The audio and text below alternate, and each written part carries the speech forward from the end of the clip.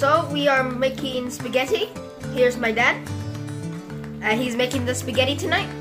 Unfortunately, it's it is mom's birthday, but um, she's not here to celebrate with us.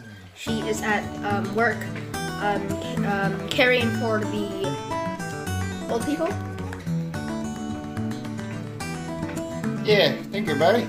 I really planned for today to cook spaghetti for, for dinner to celebrate mom's birthday, but then unfortunately uh, she just called that uh, she gonna extend uh, her uh, work hours because no one will be uh, covering the shift. So at any rate, it's good. It's working on your birthday, but uh, anyway, you can taste my spaghetti when you, you come home tonight because we will eat early because the kids has their Barry will have his uh, badminton and Paulo will have a board meeting at school. So yeah. So anyway, I have uh, done already uh, nearly cooked uh, boys, and uh, see how it goes. This is my uh, spaghetti my way. All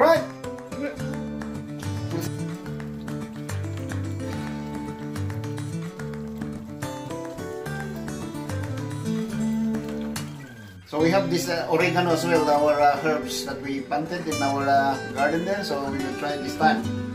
So I'm gonna slice it. So that's the good thing with uh, gardening because you can uh, have something to use when you're cooking. Oh well, just this time for me anyway.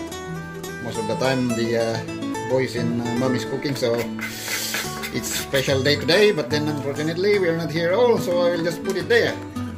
All good. Over here, I bought a cake for you too. Look, happy birthday, the carrot cake. But yeah, anyway, we'll just you just open that one when you came, and then uh, all good, all sweet. Yes.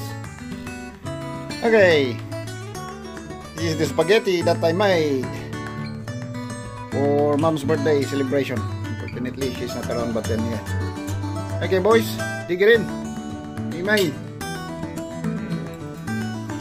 Beautiful. Tastes good?